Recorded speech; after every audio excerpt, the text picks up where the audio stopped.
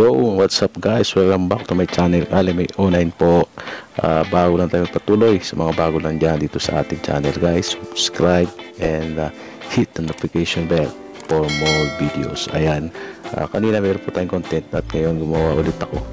Uh, May narapat kong gumawa ulit para mas uh, makapagbigay po tayo ng mga karagdagang informasyon ito ang ating pong content ngayon. Ito pong year 2008 na semi hard to find Ayan na meron po tayong mga lilinawin dito at mga may mga ibibigay akong informasyon about dito.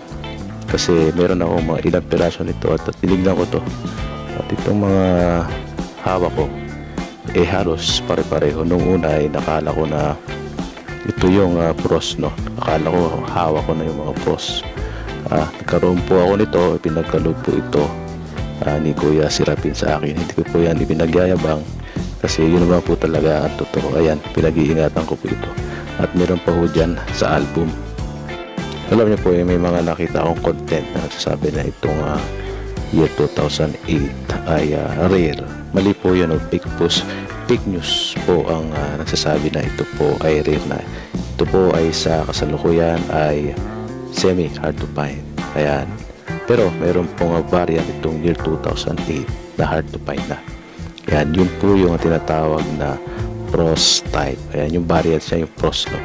Kaya itong hawak ko nito, medyo naguguluhan pa ako dito. Kaya uh, kinilatis ko kanina yan. Yan, di ba?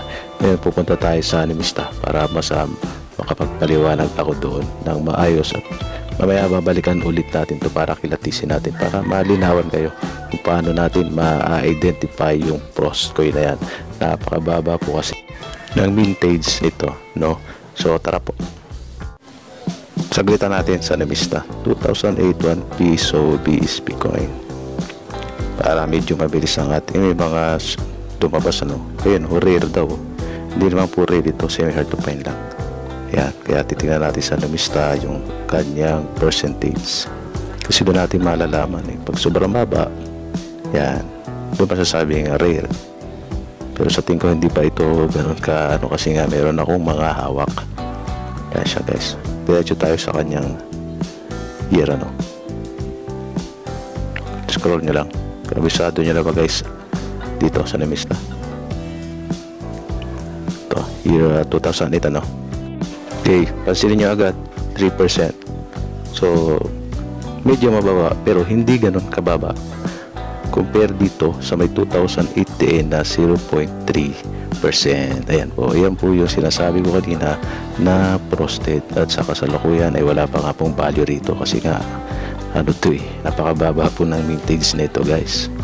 So, uh, maaari itong aking hawak, ito pong uh, yung uh, common na 3%. No? Actually, hindi talaga common. Semi hard to find nga. No? Meron po tayo mga ilang peraso niyan. Uh, pare-pareho po yun. So, maaaring sinasabi nilang rare siguro itong uh, prostate na 0.3%. Yan, prostate siya. Variant ng uh, year 2008 yan, you know? Ayan po yan. So, ngayon babalikan po natin yung mga coin para kilatisin natin. Uh, nasa ganun ma-explain ko kung paano natin makikilala yung prostate na year 2008 kasi itong mga hawak ko pag tinitingnan mo biglang tingin mapagkakamalan mo siyang prostate pero pag nilatis mo ng gusto at pinag-aralan mo yung mga prostate uh, hindi so i-compare po natin yan kaya tapusin nyo po yung video ah. so ito yung mga coin guys ano? kumuha ako ng isang example ng prostate na year 2015 ano? ito siya i-compare natin yan para mas makilatis natin kasi isa pang dahilan para ma kaya mahirap ma-identify itong uh, prostate ng year 2008 kasi guys yung pros ng 2008 ay wala pong reverse 3 bold letter bold letters lang siya pero pros siya. Kaya ito harap tayo ng mga possible na palatandaan para madaling ma-identify ang pros coin na year 2008 so ito no? Pinagtabi-tabi natin siya. Kunin natin yung uh, isang uh, 2008 na halos parang pros coin pero hindi po proscoin yan yan. Siya kasi may pagkakaiba po yan pag uh, tarot sa personal eh. Kasi ito video lamang eh, no? pero makikita nyo po yan eh, no? ito yung 2015 yan no? kita nyo agad yung pagkakaiba yung kinang ng 2015 sa 2008 saka yung 2000, ah, 2015 eh, yung pros eh, panipis po ang mga rim niyan. Especially ang buhok ni Jose Rizal sa mga pros coin ay napaka pinong pino ayan magiging isang palatandaan nyo guys. Pag nakakita kayo ng 2008 na pinong pino ang buhok at pros. Pero hindi siya reverse 3 ah. pros lang siya. Sa buhok ni Jose Rizal malamang yan magkakatalo yan. So ayan mga possible na palatandaan sa uh, rare or hard to find the year 2008 ayan tingnan natin yung likod ano. Ayan ito kasi 2015 reverse 3 ang pagka pros nito. Reverse 3 siya.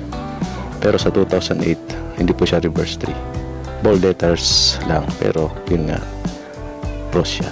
Kita nyo hindi siya pros di ba? Sa likod na nagkatalo eh. So itong hawak ko it is yung uh, 3% pero mababa na siya. Semi hard to find na po. Ito mga pros oh. yung kinang niya ganyan agad yan hindi niya na kailangan kilatisin ng pros eh. Talagang mapapansin nyo agad nakakaiba siya Ayan, lalo sa 2008 pag nakakita kayo ha so galingan po natin ang pagkilati sa ating mga nakaka nakikita ang mga kwet. So hanggang dito na lang guys ang ating content. Maraming maraming salamat. Until next time po God bless you all. I'm out